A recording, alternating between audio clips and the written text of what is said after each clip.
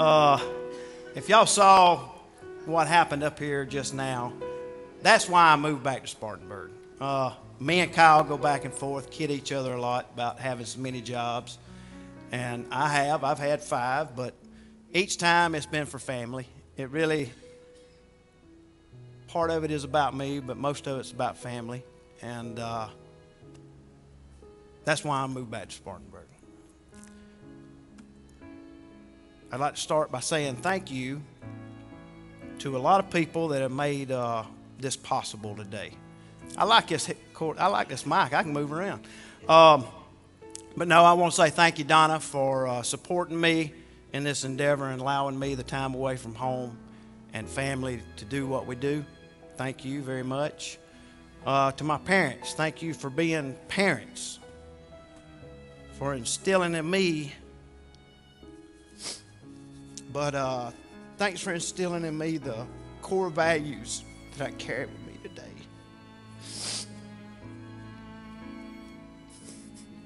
That uh, made me who I am. Thank you.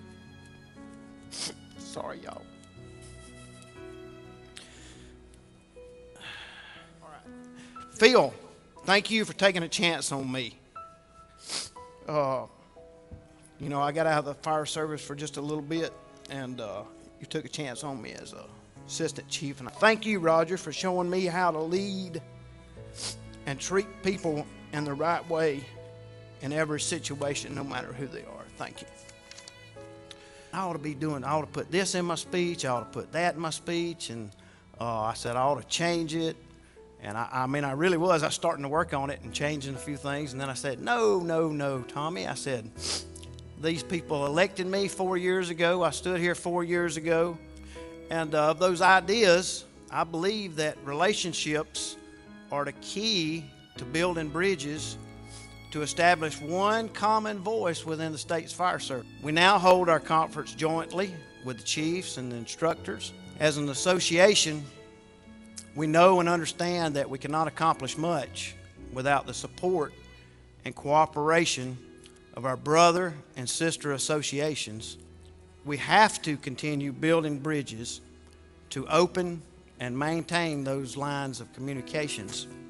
I think we should strive to mirror our association demographically, and we need to ensure that we're diligent in our efforts to have fair and honest representation from those that are willing, willing and have shown through their passion and hard work, we're going to always work tirelessly to represent our mission and provide the services and benefits to all our members and member departments, no matter the size, location, or makeup of the department.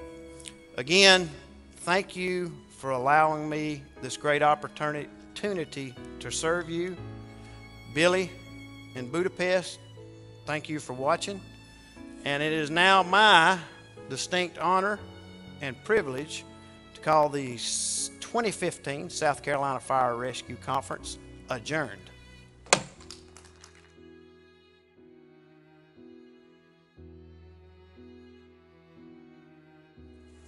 Dennis Ray, it is a light. You're quite welcome. Me and him was debating what that was, a light or a microphone. Now we know. Uh, he, he promised, he asked me to promise him that I'd redress that first. That was my first issue as president.